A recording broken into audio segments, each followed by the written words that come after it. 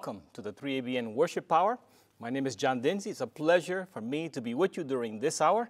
And we invite you to sing along and also pray with us, but also to study God's Word together. Before we study God's Word, I am delighted that my brother Tim Parton is here and he is going to lead you in singing and prayer. Thank you, Brother Tim. Thank you, Johnny. I'm so grateful for the Word of God promises in His Word that we can hold on to, that we can claim. He is our faithful Father. And in 1 John 4 4, it says, You are of God, little children, and have overcome them, because he who is in you is greater than he who is in the world. Father, I do belong to you. You have given me the victory over my enemies simply because you are in me, and you are greater than he who is in the world.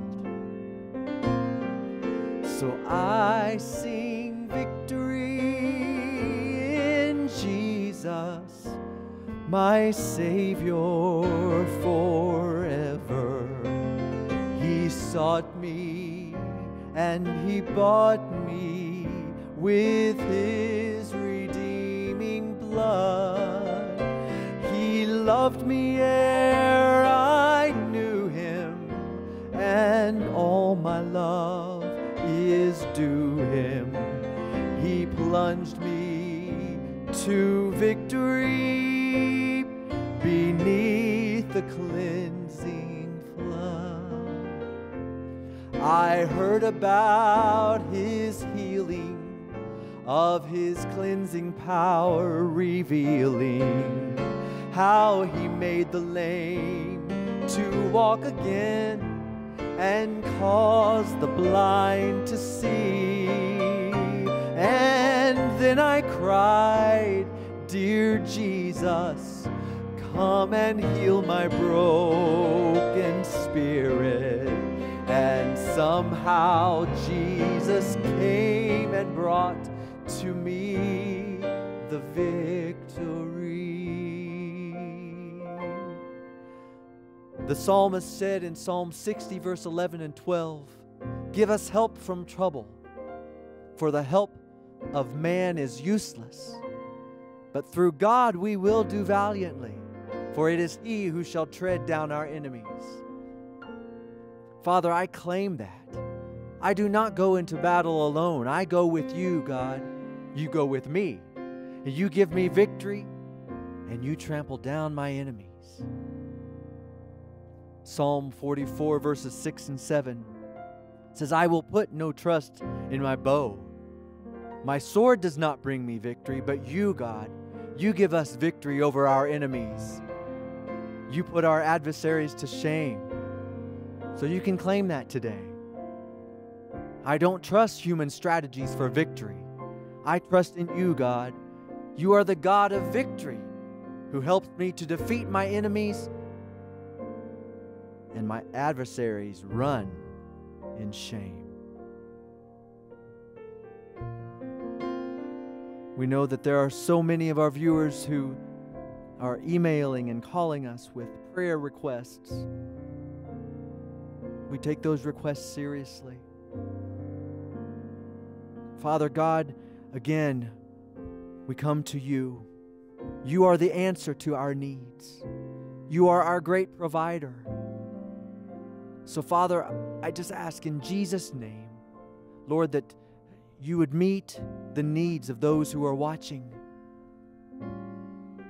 Such varied and uh, wide are, are the range of needs, the, the physical needs, God the spiritual needs, the mental, emotional. Father, we need you. We need your healing touch. But we know, God, that you can bring us victory.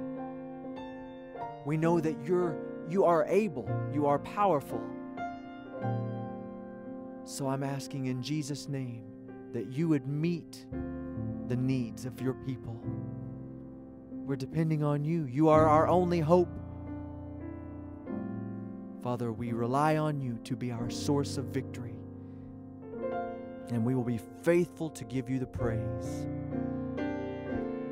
I've got victory in Jesus, my Savior forever.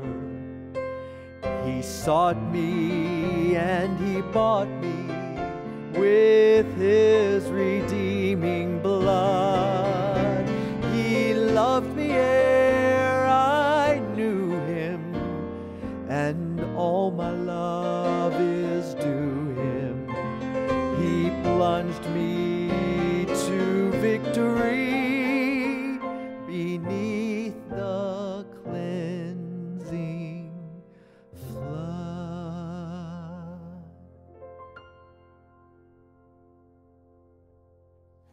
Amen. Praise the Lord. Praise the Lord.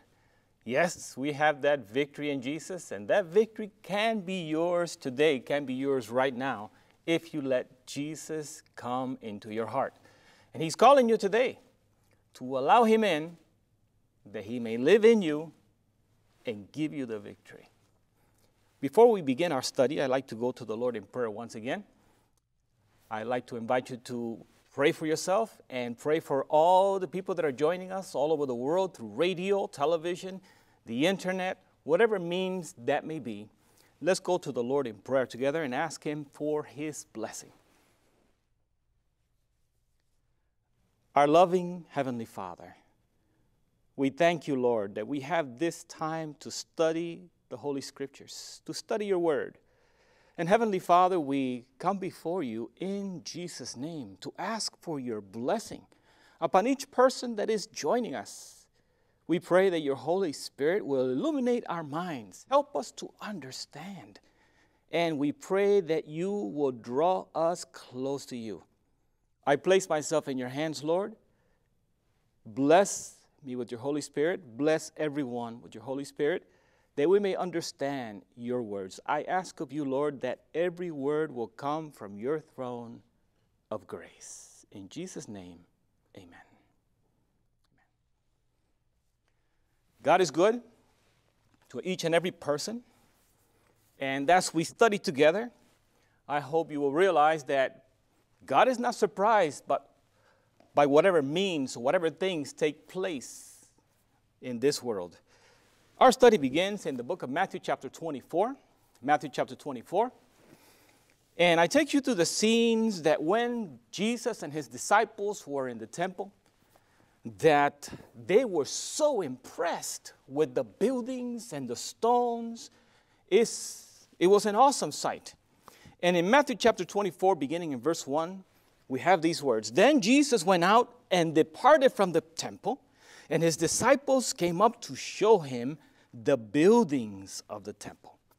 And Jesus said to them, Do you not see all these things? Assuredly, I say to you, not one stone shall be left here upon another that shall not be thrown down. Now, in Matthew 24, verse 3, something interesting happens because the disciples wanted to know about this. They said, uh, verse 3 Now, as he sat on the Mount of Olives, the disciples came to him privately, saying, Tell us, when shall these things be? And what shall be the sign of your coming and of the end of the age? Here, the disciples wanted to know what, what, what, is, what, is, what does all this mean? To them, the fact that the temple stones and the buildings will be thrown down meant to them that that would be the end of the world. And Jesus mercifully blended the destruction of the temple in Jerusalem with the signs of the end and of his coming in his explanation. So, as we look at some verses here in the book of Matthew, chapter 24, we're not going to focus a lot on the signs and uh, every detail of the signs because there is something here that people miss, I believe, to their detriment because they, they focus in on the signs and the signs and the signs. And there's a message here from Jesus that we all need to understand. And I hope that today it is my prayer that you will see this as we study together. Now, wouldn't you love to have the opportunity that the disciples had to ask Jesus the same question? When shall these things be? And what will be the sign of your coming? Lord, we're going through this now. What, what's going to happen next? You know, the invitation of Jesus is still open for us today. Remember, Jesus said, Ask and you shall receive. But let's go to Matthew chapter 11, verse 28 and 30. 28 through 30, actually, Matthew 11, verses 28 through 30.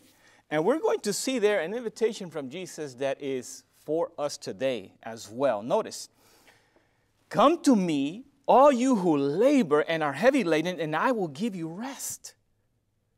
Take my yoke upon you and learn from me, for I am gentle and lowly in heart, and you will find rest for your souls. Notice this. Take my yoke upon you and learn from me, for I am gentle and lowly in heart, and you will find rest for your souls. And the next verse says, For my yoke is easy and my burden is light. You see, in this scripture, Jesus tells us that we can come to him and learn from him because he is meek and lowly of heart. He says, Learn from me, for I am gentle and lowly of heart. So, yes, we can come to Jesus and ask Him, say, Teach me, Jesus, teach me. Another promise is found to us in the book of Jeremiah, chapter 33. And in Jeremiah chapter 33, we have these wonderful words in verse 3 Call to me, and I will answer you and show you great and mighty things which you do not know. So the Lord gives, is, gives us an open invitation to learn from Him, to call upon Him, and He will indeed show us great and mighty things that we do not know. But we must come just as Jesus is humble, with a learning spirit and a learning desire, asking the Lord to help us understand. Let's go to the Matthew chapter 24 again and take up the reading there in Matthew chapter 24. Let's continue in verse 6. Verse 6. And you will hear of wars and rumors of wars. See that you are not troubled, for all these things must come to pass, but the end is not yet. For nation will rise against nation and kingdom against kingdom, and there will be famines, pestilences, and earthquakes in various places. Notice here that the next verse says, All these are the beginning of sorrows. So, brothers and sisters, we have a message from Jesus that wars and rumors of wars, pestilences, and all these things are the beginning of sorrows. And we have entered into this throughout history. Even before uh, the destruction of Jerusalem, there were wars and rumors of wars. There were famines. There were earthquakes. All these things that Jesus said would happen happened before the destruction of Jerusalem, and Jerusalem was destroyed in 70 AD. But you see, these same signs are repeated in the time of the end because Jesus combined the two, and many things like happened before the destruction of Jerusalem happens for us in these last days that we are living in. So, when you consider these things, these are the beginning of sorrows. We have been in the time of sorrows for many years.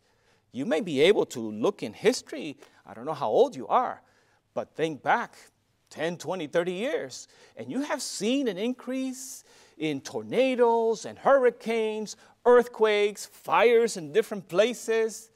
We are living in the time of the end. We don't have enough time to show you how prophetically we are living in the last days, but these signs that Jesus spoke in Matthew 24, nearly all are fulfilled, and we are living in the last days. And of course, some uh, right now, uh, you may be in your home because of the coronavirus and uh, this pandemic that is it's incredible what has taken place. Virtually uh, about a hundred, over 180 countries, over 180 countries already have infections of the coronavirus. 180 180, more than 180 countries, actually. Thousands have died, and we are living in the last days. But I like to point out to you that this coronavirus is but a wake up call to help God's people understand that we are living in the last days. Now, I want to go to one of my favorite Psalms and read to you from Psalms 46. In Psalms 46, we have a message from the Lord that is very powerful, and we should understand that God has a message for us. Notice these words, verse 1 and 2. God is our refuge and strength, a very present help in trouble. Therefore, we will not fear, even though the earth be removed, and though the mountains be carried into the midst of the sea. Let's go to verse 3 also. Though its waters roar and be troubled, though the mountains shake with its swelling. So, brothers and sisters, we can take refuge in God and let, let, uh, don't let it don't be carried away with the fears of the world because god has exceeding great and precious promises these are times for you and i to get closer to the lord closer to the lord and have the assurance that what Jesus said is true. He said, I will be with you always, even until the end of the world. Amen. I'd like to point to you another scripture that is of encouragement, and that is found in Isaiah chapter 41 and verse 10. In Isaiah chapter 41 and verse 10, the Bible tells us, Fear not, for I am with you. Be not dismayed, for I am your God. I will strengthen you. Yes, I will help you. I will uphold you with my righteous right hand. This is the God that we serve. This is the Almighty God. And I encourage you to trust Him with all your heart. Matthew uh, 24 it's a powerful book to read, and we can learn many things there. But I want to show you another wonderful promise in Isaiah chapter 26, verse 3 and 4. Isaiah 26, verse 3 and 4. Some people have this memorized. Notice these wonderful words in Isaiah 26, verse 3 and 4. You will keep him in perfect peace, whose mind is stayed on you, because he trusts in you. Trust in the Lord forever, for in Jehovah the Lord is everlasting strength. Praise God. He is our everlasting strength. We don't have to fear as long as we understand and believe that Jesus is with us. So I encourage you to believe, get familiar with the promises of God. This is a marvelous opportunity for you and I to sink deep into the Word of God and to uh, become closer to God and to have the assurance in our hearts that what He said, He will do. Remember, Jesus promised to be with you even until the end of the world. But you and I are facing, we're walking through this world and facing difficulties and problems and crisis. We must have our eyes fixed on Jesus if we are to survive till the end. We continue back in the book of Matthew, chapter 24. And in Matthew 24, we are going to continue now into uh, verse 9 and 10. Then they shall deliver you up to trib- tribulation and kill you, and you will be hated by all nations for my name's sake. And then many will be offended, will betray one another, and will hate one another. These things happened during the time of the, uh, not the disciples, but after uh, Jesus spoke to the disciples, these things happened. Before the destruction of Jerusalem, which occurred in 70 AD. These things happened, and these things will happen again. Notice that it says that people will betray one another. That's people that you know, people that you love may betray you. But you must have your eyes fixed on Jesus. Continuing on in Matthew 24, verse 11, then many false prophets will arise and deceive many. This has been going on for years and will intensify as we get closer and closer to the second coming of Jesus Christ. Let's continue, verse 12. And because lawlessness will abound, the love of many will grow cold. But he who endures to the end shall be saved. He that endures to when? Till the end. Brothers and sisters, it is not enough to begin our Christian life with Jesus and then separate ourselves from Jesus and live a life of sin. We must continue and endure until the end. The end of what? It could be the end of our life, and it could be the end of time when we see Jesus coming in the clouds of heaven. Whatever it may be for you, I encourage you to be faithful until the end. Endure until the end through the power and the grace of Jesus Christ.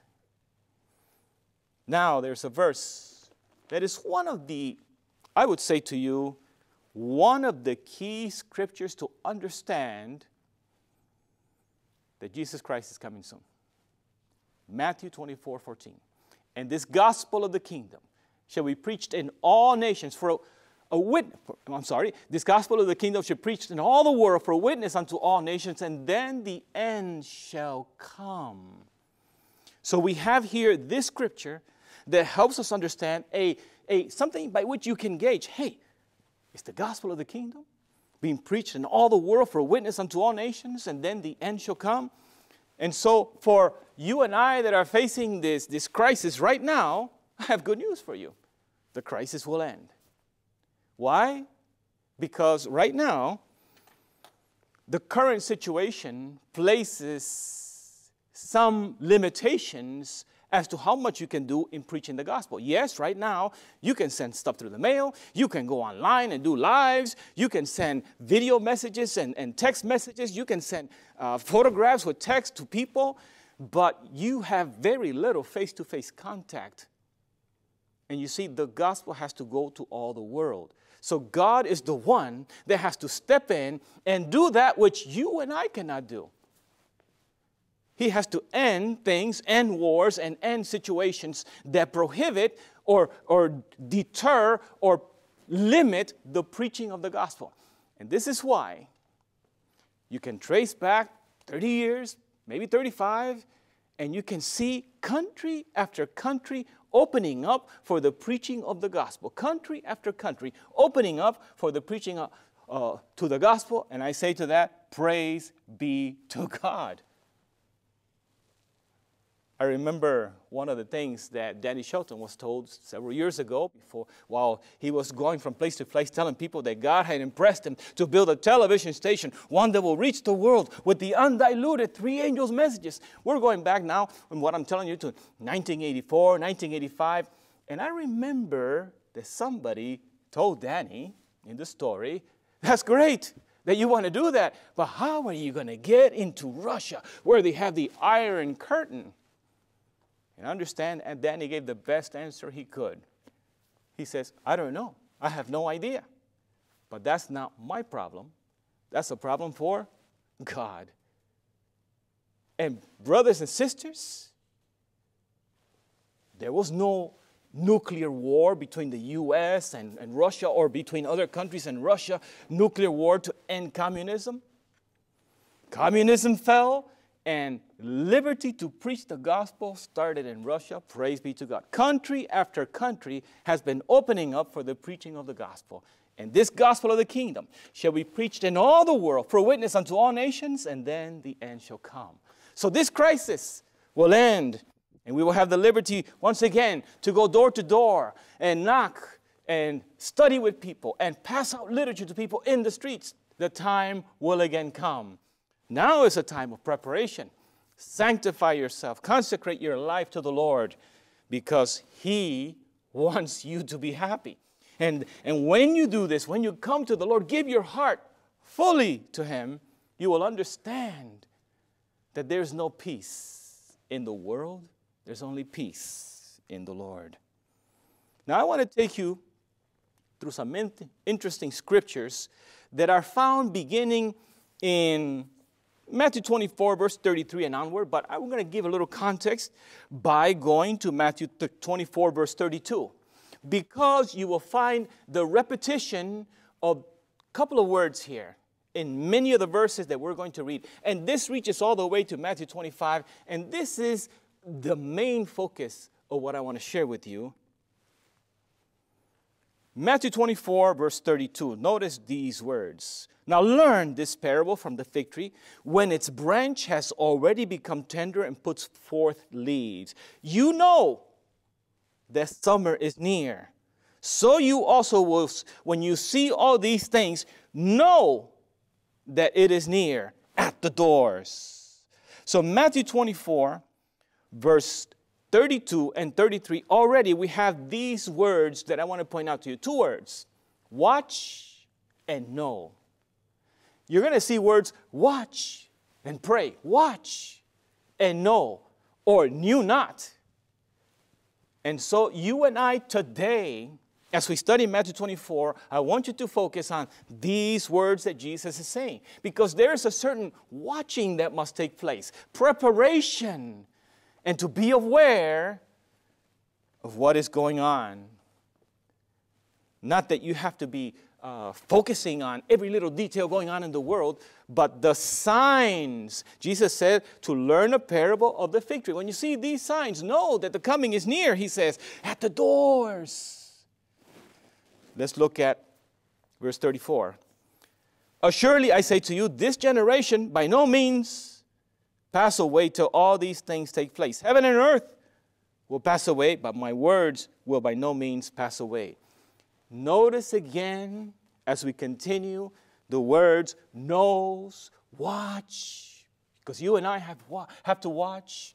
And unfortunately, some people, as time has gone on, they have stopped watching praying, staying close to the Lord. The things of life, the hustle and bustle of life has uh, occupied them with this and that. They're playing these video games and they stay hours and hours doing that. They go on social media, they spend hours and hours on that. And when the time to go to sleep comes, or they're watching television, uh, some TV programs, comedies, movies, whatever it is, videos, when the time to go to sleep, oh, just a quick prayer, and you're out till the next day.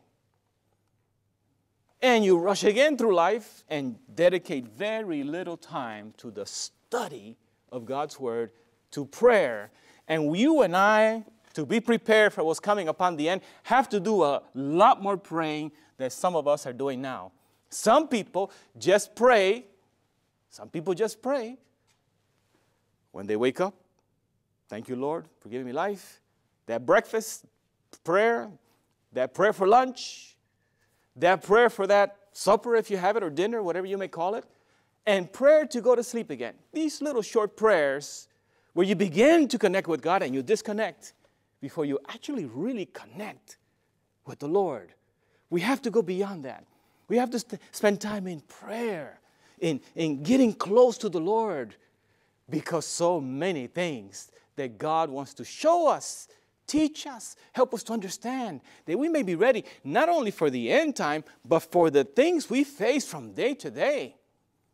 And believe me, I'm sure you have noticed that the devil is after you in one way or another.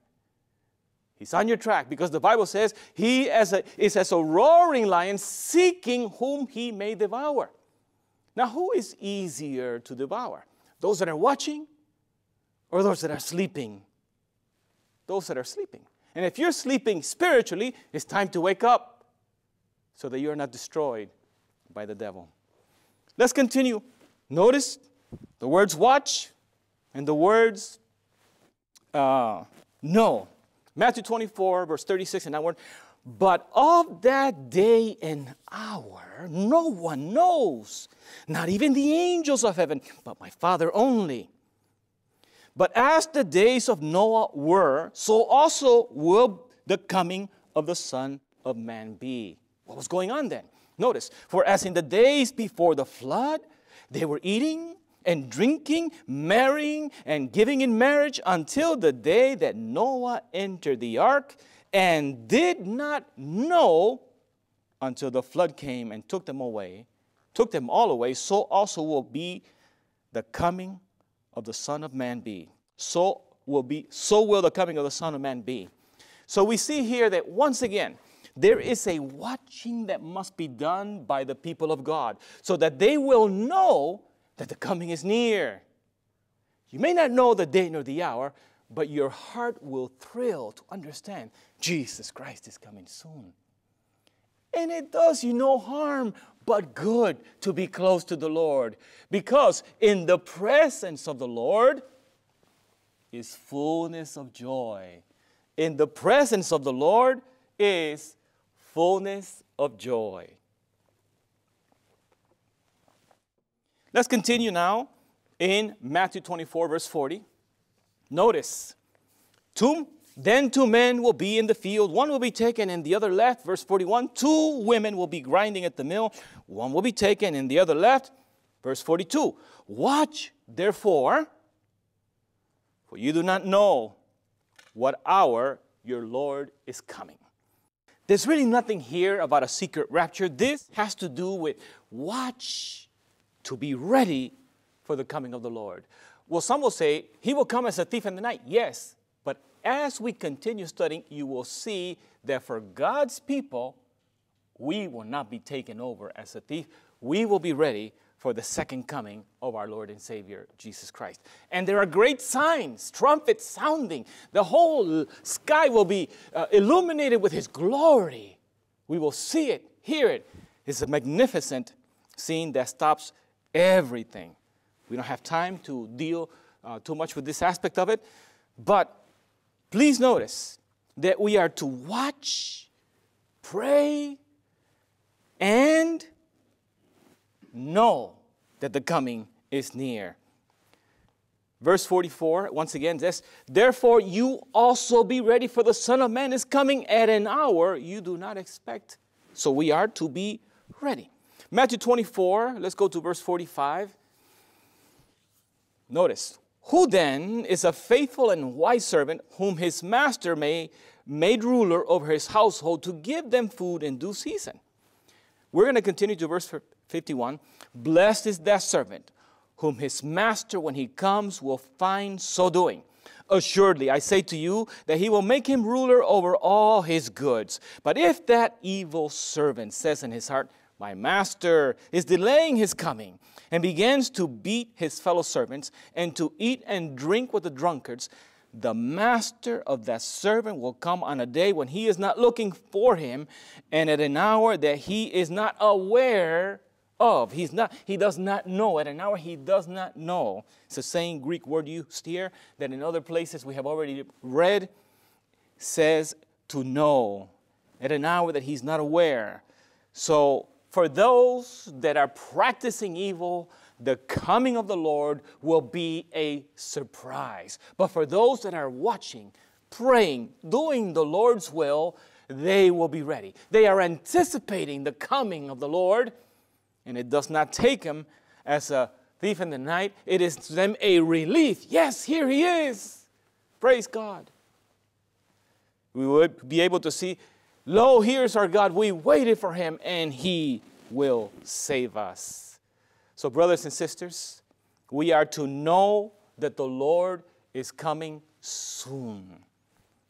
Now, we're going to go quickly into Matthew 25. We can't really go through all the details of this because, again, we're supposed to watch and be ready.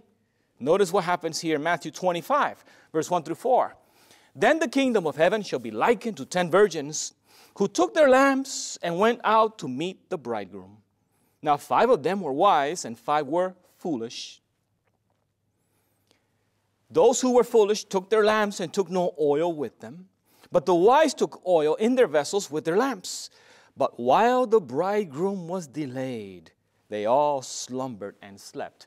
Now, this is interesting because all of them are virgins, professing, in other words, they are professing a, a, uh, a pure faith. They all are looking for the bridegroom, but half of them, half of them were not prepared for the coming of the Lord because they did not do the necessary preparation. what was the preparation that the wise did that helped them be prepared when the master or the husbandman came. Notice, continuing on in Matthew chapter 25, uh, we go to verse 6 through 13. And at midnight a cry was heard Behold, the bridegroom is coming. Go out to meet him. Then all those virgins arose and trimmed their lamps. And the foolish said to the wise, Give us some of your oil, for the lamps are out, are going out. They're underway to go out. But the wise answered, saying, No, lest there should not be enough for us and you, but go rather to those who sell and buy for yourselves. And while they went to buy, the bridegroom came, and those who were ready went in with him to the wedding, and the door was shut. Now, let's stop here for a moment and notice what happened.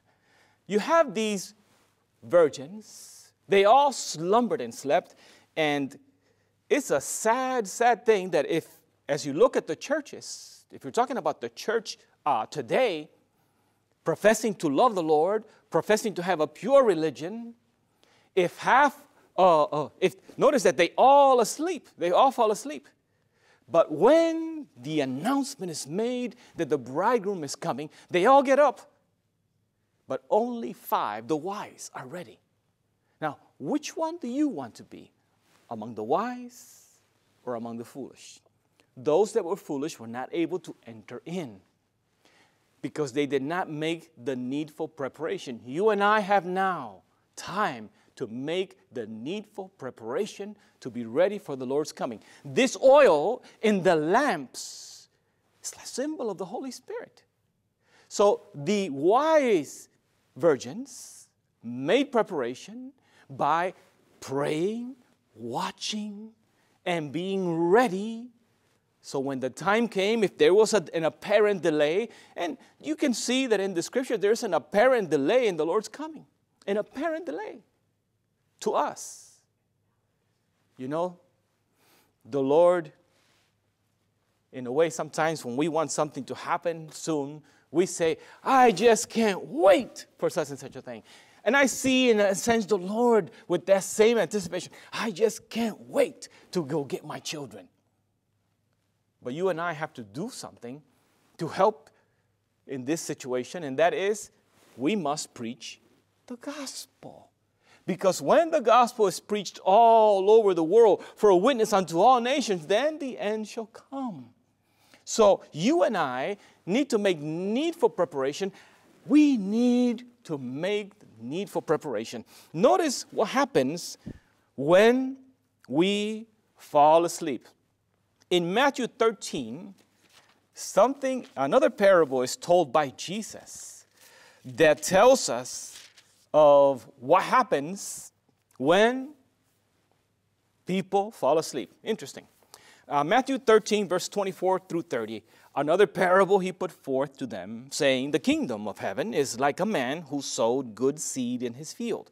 But while men slept, his enemy came and sowed tares among the wheat and went his way. But when the grain had sprouted and produced a crop, then the tares also appeared. So the servants of the owner came and said to him, Sir, did you not sow good seed in your field? How then does it have tares? He said to them, An enemy has done this.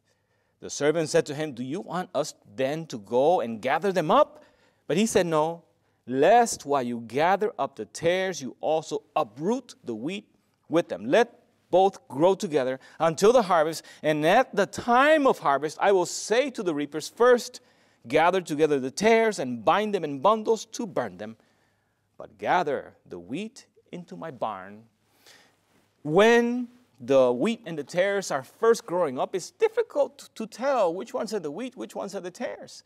Somehow, these individuals that came to look at what was planted, they were able to tell. Do you want us to gather the tares? They thought they could do this. But you see, if we look at this parable and consider that even in the church, those professing to be Christians, there are wheat and there are tares among the Christians. And how is it that that can be? You see, it says an enemy has done this, and some people come into the church that are not 100% converted.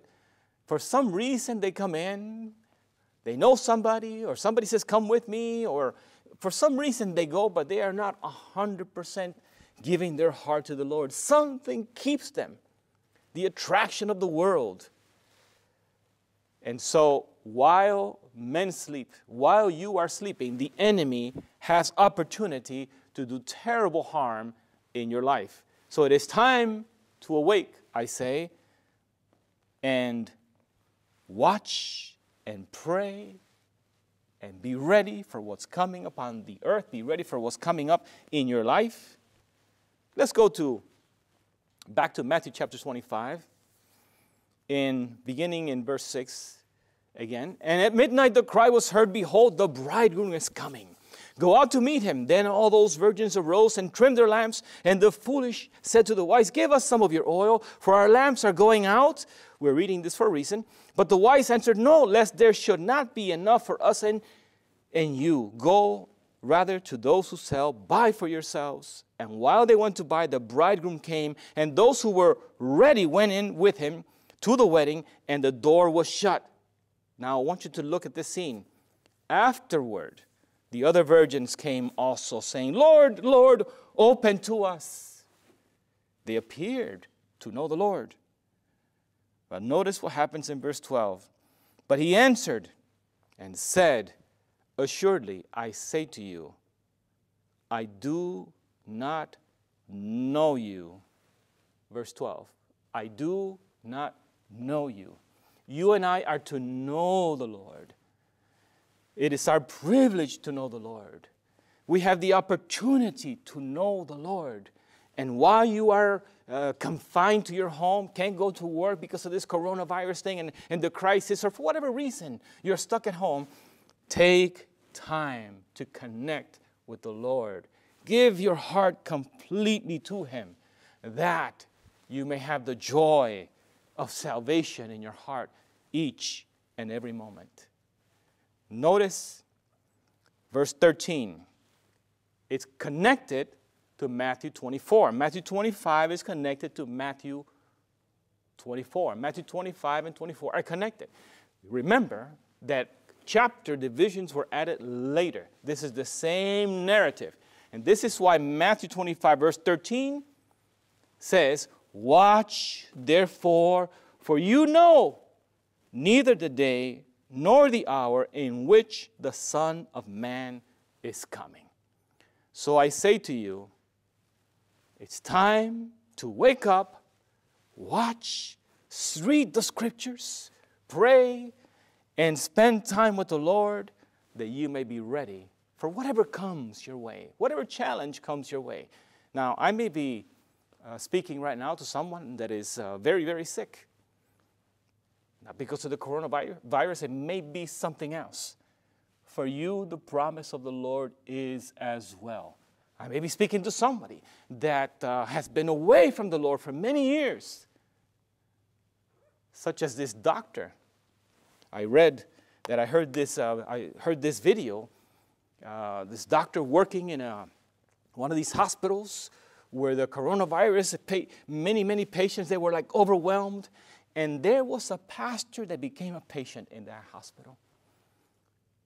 And every day that he was there, he would be singing and reading the scriptures, and he had a smile on his face, and the nurses would come, and the doctors would come. He was struggle breathing, but he was saying, Praise the Lord. He was encouraging, and the doctor would come, and he was just amazed at the, uh, this pastor's faith. He was elderly, but he was clinging to the Lord. This pastor was faithful to the end. And this doctor was able to say, I had separated myself from the Lord long ago, but this pastor awakened in me a desire to have what he had, that in the face of death, he was happy in the Lord, knowing that Jesus was with him until the end. He said, The, the pastor died, but he changed my life. There are things going on in this world because of the coronavirus. And it's amazing the things that can happen when a crisis comes. I want to take you to 1 Thessalonians chapter 5 verse 1 through 6. 1 Thessalonians 5 1 through 6. But concerning the times and the seasons, brethren, you have no need that I should write to you. There are some people that know the times and the seasons about the coming of the Lord. Notice verse 2 For you yourselves know perfectly that the day of the Lord so comes as a thief in the night. Many Christians know that the day of the Lord comes as a thief in the night. But notice, verse 3 For when they say peace and safety, then sudden destruction comes upon them, as labor pains upon a pregnant woman, and they shall not escape. But you, brethren, are not in darkness, so that this day should overtake you as a thief. Praise God. We do not have to be overtaken as a thief. Notice, this day does not have to overtake us as a thief. You are all sons of light and sons of the day. We are not of the night nor of darkness. Therefore, let us not sleep as others do, but let us watch and be sober. Praise be to God. So I encourage you that whatever your condition is, get closer and closer to the Lord. If you have been uh, worldly minded, uh, had not been reading your Bible, uh, drifting further and further away from the Lord, it's time to come nearer to the Lord because the Lord loves you, wants you to be happy. And the reality is that you cannot find true happiness in anything or in any place in this world if the Lord is not with you. In Ephesians chapter 5, verses 8 through 14, Ephesians chapter 5, Actually, I just want to read Ephesians chapter 5.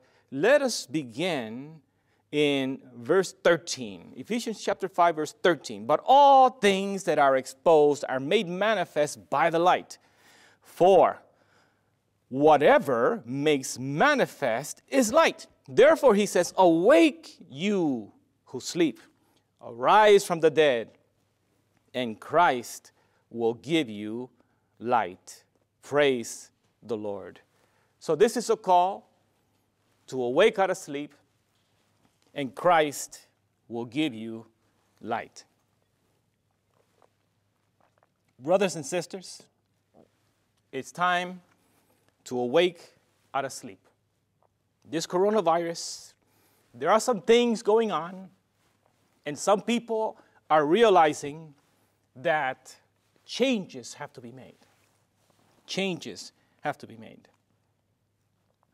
I want to talk to you about some of these presidents in some of these countries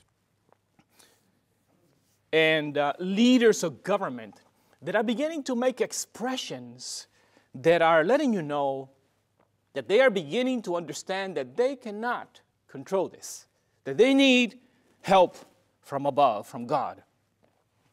The Prime Minister of uh, Italy, with tears in his eyes, said, We have lost the battle against the coronavirus.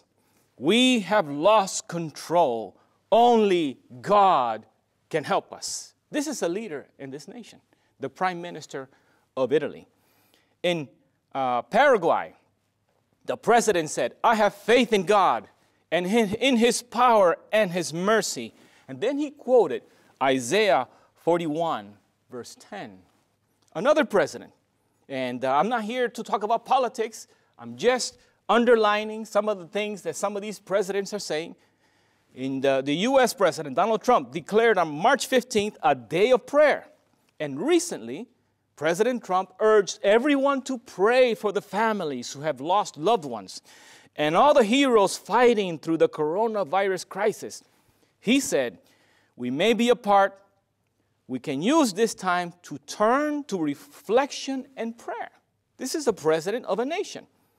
And he says, with the faith of our families and the spirit of our people and the grace of our God, we will endure, we will overcome, we will prevail. Panama, the president of that country, asked the people in Panama to pray and then gave some instruction on how to pray. Interesting. In Guatemala, I heard this president say he called upon the people of Guatemala to pray for the people, pray for the country. And he said, I am asking the people of Guatemala to spend this coming Saturday, this is what the video said, to spend this coming Saturday in fasting and prayer for our country. The president of Guatemala.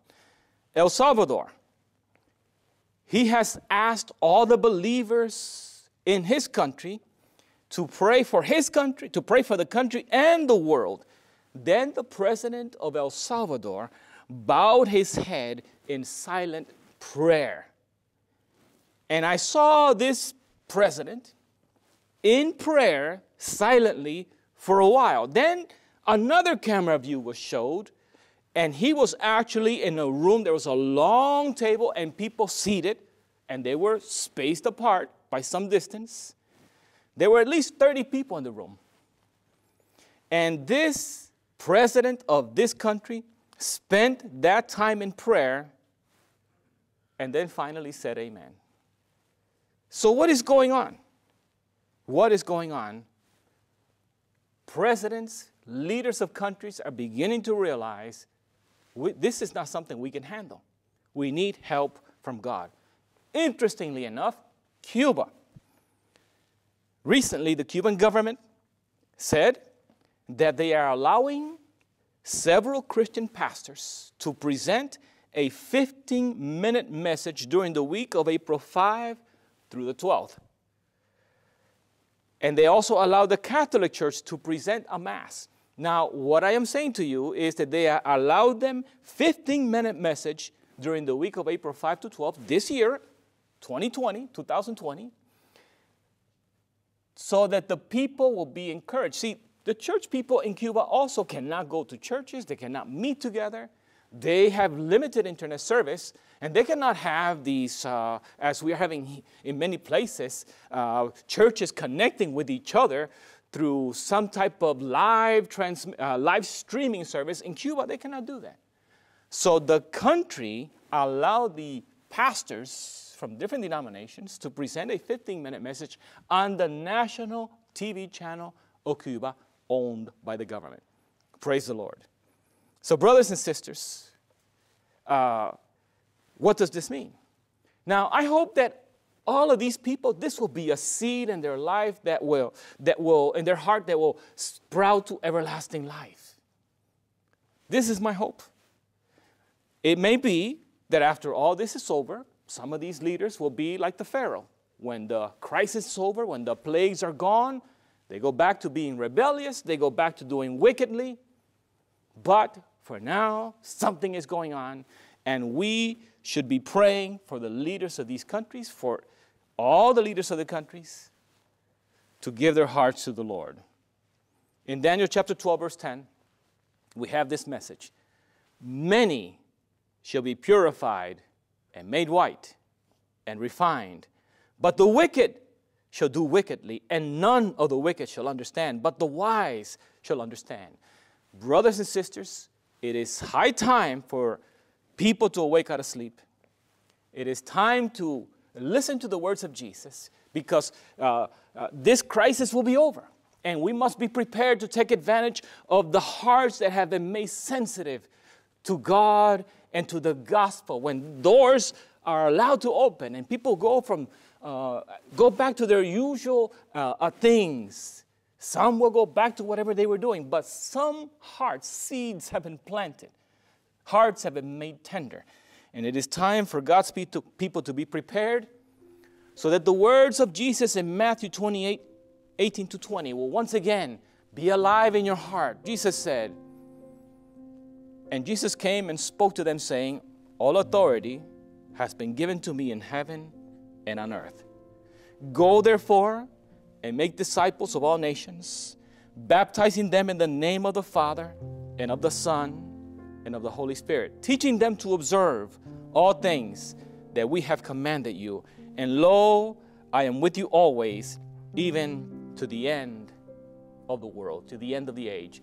Brothers and sisters, the coronavirus is but a wake up call to give your heart to the Lord. I encourage you to give your heart completely to Him. watch and know the time that we are living in.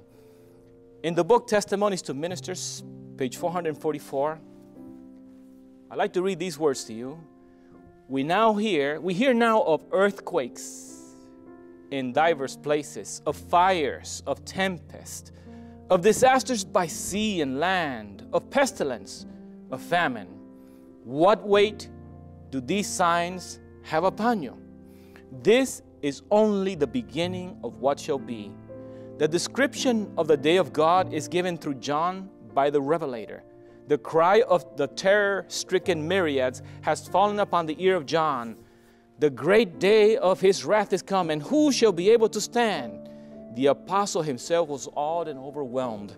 I encourage you to give heed, get up, watch, and pray. In Testimonies, volume 5, page 717, study your Bible as you have never studied before.